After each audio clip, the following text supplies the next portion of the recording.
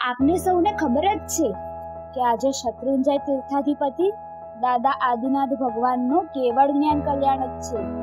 પણ શું તમે જાણો છો કે આ દિવસની બીજી શું ખાસિયત છે? આ જ દિવસે આ અવસર પીણીના વર્ષો સુધી બંધ, મોક્ષના દ્વાર ખુલ્યા હતા.